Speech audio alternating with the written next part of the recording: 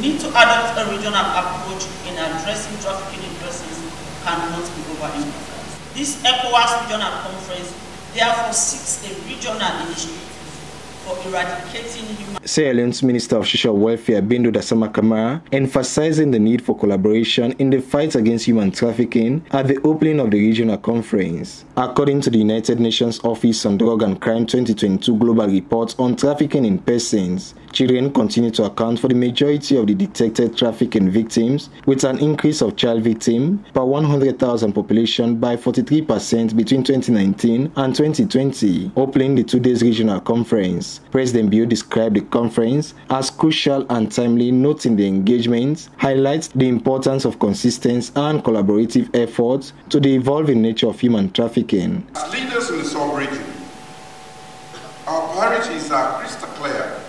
We must focus more on prevention through increased education and awareness raising at the community level. We need to enhance support to survivors by providing them with services in a dignified manner when they are identified. We must toughen our law enforcement and judicial response to ensure that more perpetrators of human trafficking are persecuted, making it risky and expensive enterprise for these criminals is essential. This conference offers a new opportunity to enhance regional cooperation and collaboration on information sharing Underscoring the challenge of human trafficking, President of ECOWAS, Dr. Omar Alieu Touray, described human trafficking as insecurity challenge facing the West African region that is facilitated by organized crime, hence calling it a moral and humanitarian concern that requires collaborative efforts. One of the key challenges facing West Africa today is insecurity.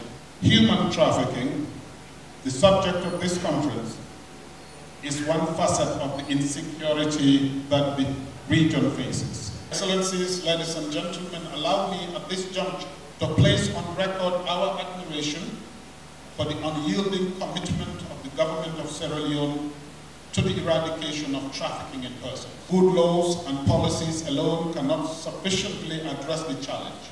Strong coordination among relevant actors and effective implementation of those laws and policies must be undertaken. It is for this reason that ECOWAS attaches considerable importance to gatherings like this. As part of strides to tackling human trafficking in the country, Sierra Leone has in 2022 enacted the Anti-Human Trafficking and Migrant Smuggling Act and also developed a national referral mechanism for the protection of victims of trafficking in Sierra Leone. The two days regional conference being hosted at the Freetown International Conference Center in Aberdeen is expected to produce implementation program that will serve as a roadmap for the region. Ronald Jomorovia, AYV News, Freetown.